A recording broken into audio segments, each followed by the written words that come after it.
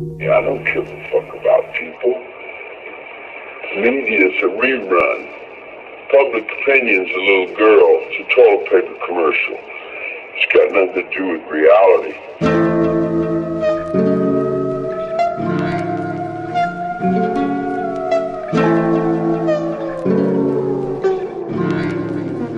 Mm -hmm.